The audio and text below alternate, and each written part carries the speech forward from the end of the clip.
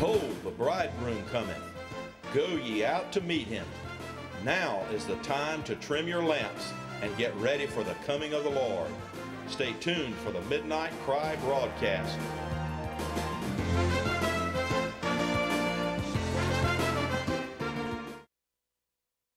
Praise God for the salvation that was, I believe, sung about with the Lord's presence.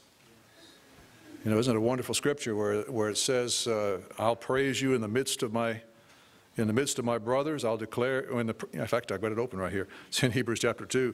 I will declare your name to my brothers. In the presence of the congregation, I will sing your praises. You know, you may just look around and see human flesh and blood, but there's more than that here this morning. I believe the Lord was present in a people, and it was by His strength that we were enabled to praise God. And I just I appreciate the, the wonderful salvation that was so clearly testified to this morning. And, uh, you know, I've had, a, I've had a burden that I haven't been able to shake. And I'll just express it because I believe it's, the bur- it's a burden of God's heart. We are in a late hour, but yet the principles involved in what, I'm, what I've been thinking about have applied in every age. And that's the burden that the writer to the Hebrews had when he uh, began chapter 2. He said, We must pay more careful attention, therefore, to what we have heard so that we do not drift away.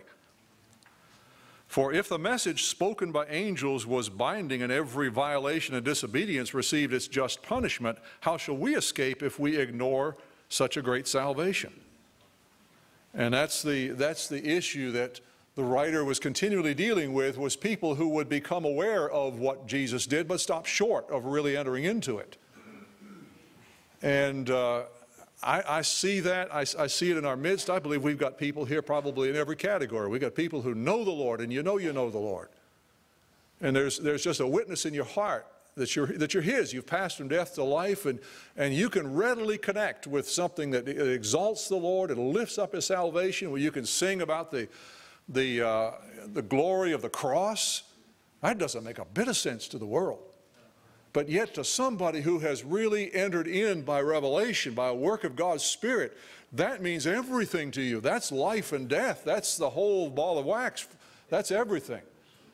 And we can just rejoice and, and, and appreciate it and enter into it. And you've got others that have kind of embraced all of this because maybe you grew up in it, maybe you came in, maybe you know there's an interest there and you sort of embraced it up to a point. And we probably got some here who don't have a clue. And you're just sitting here wondering, what in the world is this all about? This is crazy, crazy stuff. Just a bunch of meaningless religion. I'll tell you, this is not meaningless religion. This is the Word of God. This, this is the truth. Jesus Christ is who he said he was. He is who the writers of Scripture said he was, and his resurrection proved it.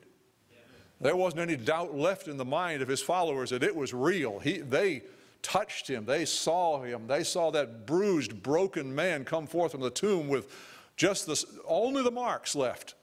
Just to, just to prove who he was. This wasn't somebody else that the Lord had, that God had slipped in on him.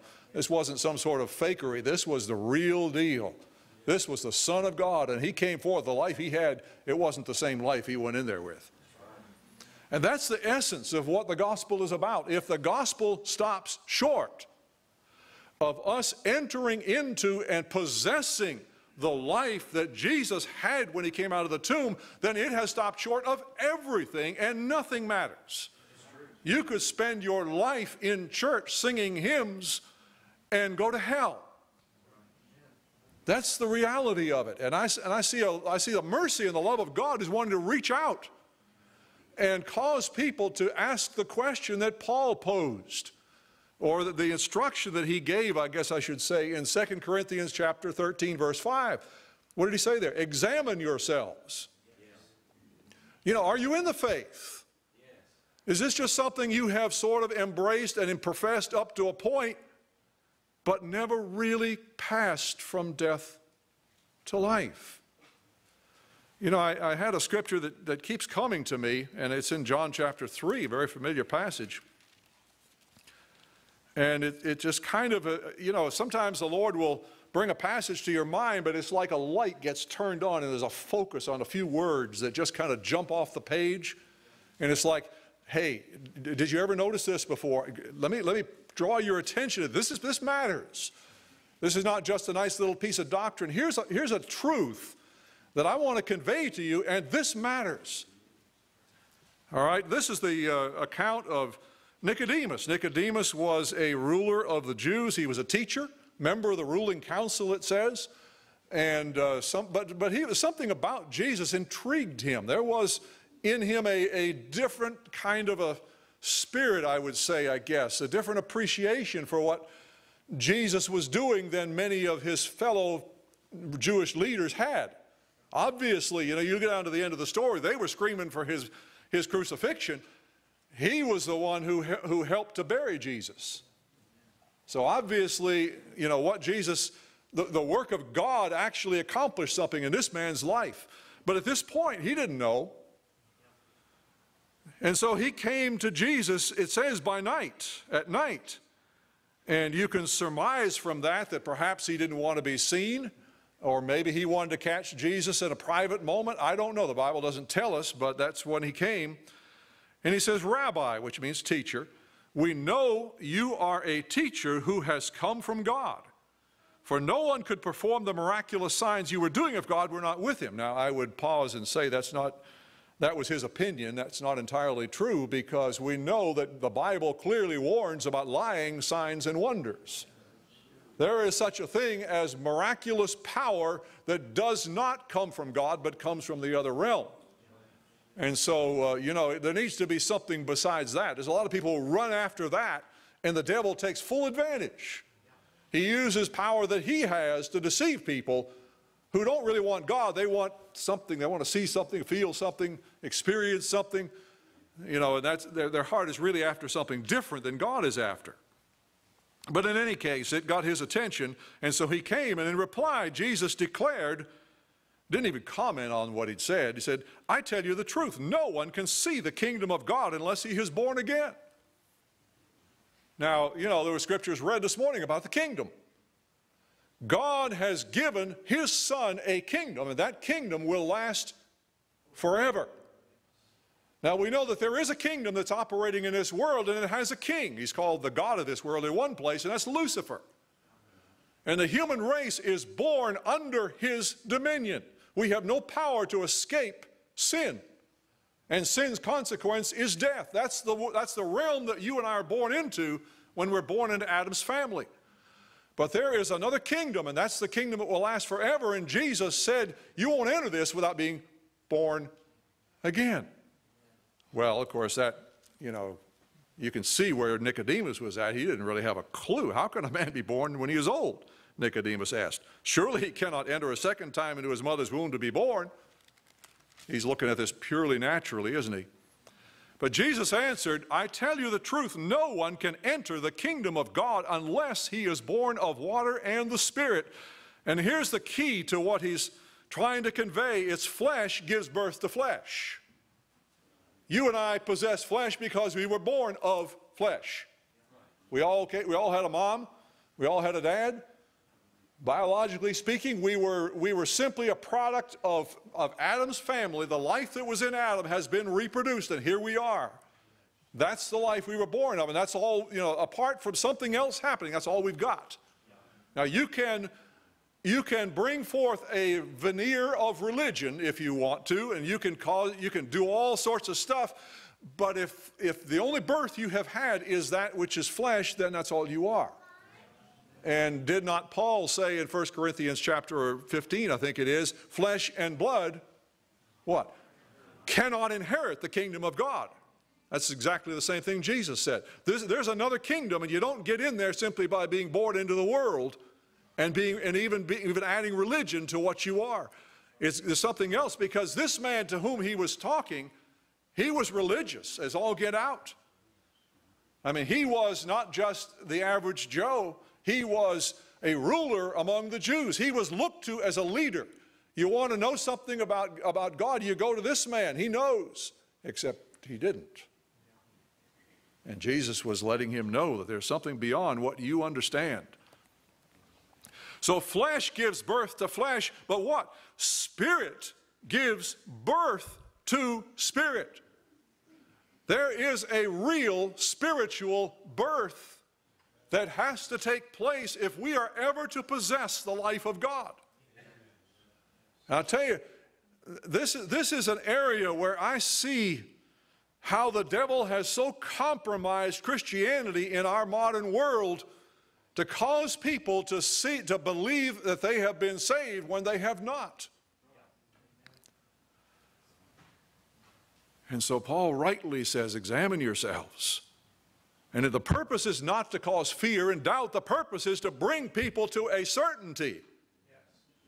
God wants you to know. I don't mean he's going to come down and have an angel talk to you and, and show you your name and written in gold or, or something like that. But I mean, there is a conviction that can that could enter into the human heart when this is really done that's real and it's it's there come hell or high water. You don't get rid of this. It's real. It's something that is permanent. But only Spirit can give birth to this. You should not be surprised at my saying, You must be born again. Now, here's the, here's the phrase or the uh, saying that was part of this that kind of jumped off the page at me. I'd never really particularly thought about it before that I can recall. It says, The wind blows where it pleases. that you hear its sound, but you cannot tell where it comes from or where it is going. So it is with everyone born of the Spirit. Now think about the wind. Anybody here got control of the wind? Anybody's got a formula for making the wind do what you want it to do? No. There is, see, what has happened in so many places is that salvation has come to be presented as a formula. A, B, C, D. You take somebody down the Romans road, everybody has sinned, comes short of the glory of God. The wages of sin is death. The gift of God is eternal life. If, you know, if we confess, if we believe in our heart and confess with our mouth the Lord Jesus, we're saved. Okay, and, and then you take them to John. Everybody received him, becomes a son of God. Them gave you power to become sons of God. Okay, now let's pray a prayer. and you pray the prayer, okay, what does it say? Okay, you're saved. You've been born again. Now, I don't want to say that God hasn't worked in spite of a lot of that, that God hasn't saved people. Praise God, He has. But I'll tell you, there are churches across America today who have been filled with people who have done exactly what I have just said, and they're lost and don't know it.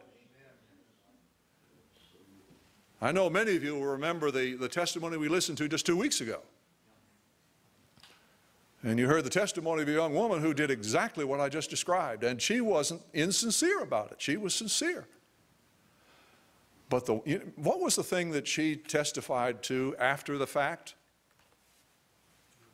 She didn't notice any real change. Nothing really changed.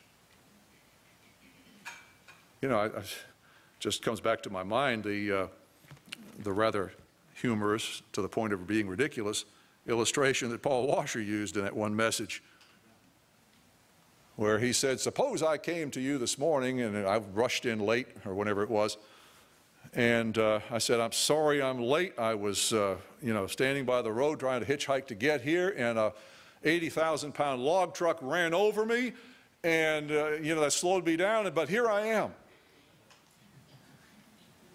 Yeah, I'll tell you, if an 80,000 pound log truck runs over you, there will be some evidence. if you, I'll tell you, if the Spirit of God gives birth to the life of God in you, there will be evidence of that in your life. You will be a changed person. I'm not talking about some particular experience, everybody's different. Guarantee we're all different in this respect. But there is a reality that God longs to bring, and there's so many people that come up to it, they, they, they talk about it, they believe, they believe in it, but somehow they never enter in. What's the deal here? See, I tell you, we could invite people down here today and, and you know, preach some emotionally charged message and get people all excited and come down here and, and get them to sign on the dotted line, as it were. Would that save them? No. Why? The wind blows where it wants to. I tell you, God's not stupid. God knows. There is a supernatural work of God that has to take place in a heart. And if that doesn't take place, Nothing happens. You could try to manipulate it and get it to happen. I tell you, we're going to have to do what Jesus did. You know, the one thing that's really interesting, not only, you know, what he says about the wind blowing where it wants to or it pleases, Jesus doesn't give us a formula. Here's how you make it happen. You just do this and you pray this prayer and it just somehow magically happens. Oh, no. God has got to work with the heart. And until that work is accomplished and He actually comes in, you're not there yet. And I'll tell you, I believe it, it, concerns me, but I believe it concerns the heart of God who reaches out in love, that there be nobody here who somehow hears all of this, somehow claims it, somehow believes and is able to maneuver it around where I'm a Christian, I'm, I've been born again. But there hasn't really been a change in here. You know, Andrea talked about how, you know, she was a deceitful person, just in her nature. She was so interested in pleasing people that she learned to be a good liar, among other, other issues. Somehow that didn't change. She could do that and, and not really have a conscience about it. But oh, after she met God, man, was there a sensitivity? Do you know what that's about? You know what it is to, to have God convict you of something that nobody else is even aware of? This is not, hey, I'm somebody's looking, I better behave myself. This is not coming from outside. This is not, you know, oh, here's the here's the religion I've adhered to. I better better toe the line. Somebody might be looking. This isn't some external conformity. This is something in your heart Nobody knows about this but you and God. But you're convicted about it, and it might just be as simple as an attitude. If you can just have a human attitude, and you know what I mean, not the kind you ought to have, and it not bother you at all, something's missing. Something's missing. I tell you, everybody that's in Christ is a new creation. And I love Andrea's illustration of what repentance is. That baseball that radically changes direction when the bat encounters it. And there is a change that is on the inside that suddenly you can see the kingdom of God. It becomes real. That doesn't mean you're some way, way up here. It doesn't mean there aren't battles. It doesn't mean there are a lot, of, a lot of things. But I tell you, there's a work of God that we cannot short circuit. If God ever convicts you, if He ever brings you into His kingdom, He's going to deal with your heart, He's going to deal with your will. He's going to bring a sin consciousness to you where you suddenly see yourself not just in relation to everybody else and the culture around you. All of a sudden, it's, oh my God, I've got to stand there and answer to Him. And you become conscious of how unclean and unworthy and unfit you are. And it's real. And it isn't just something where you're going like this all the time. There has to come a point where you just, oh God, I, I don't want to be this way. I want to change. Lord, I can't change. I need you to change me. Lord, I don't want to go this direction. I want to go with you, but I need you, Lord. I tell you, God's going to deal with your will about stuff. I tell you, if Jesus ever comes in, he's going to, he's going to come in as Lord. I tell you, if you ever come to Christ, you don't belong to yourself. You don't have the right to run and do your own thing. You belong to another. You're His. Oh, I tell you, to, be, to belong to somebody who is love itself, you've got something better than that going in your life. You are well, you're in delusion. God needs to open your eyes to see the reality of what it means to serve and to love this kind of a being, a God who, who loves you in spite of what you are and what I am, a God who can forgive sins, a God who can be merciful, a God who is patient and kind and, and draws us with his love, but he's dead serious too. This is not where you can mess around and say, Well, God, I'll give you 95%, but here's an area I can't let go. You think you can pray a prayer and get around that? No. I tell you, the wind blows where it wants to. And the wind is not going to blow for you until God brings you to that place where He's Lord. And there's a surrender. And there's a faith that looks to Him and believes the promise. God has got to work those things in a heart. Only He can do it. But I'll tell you, there's a time and there's a place where God brings a heart to that moment of birth. And then He comes in, and everything is changed from that moment on.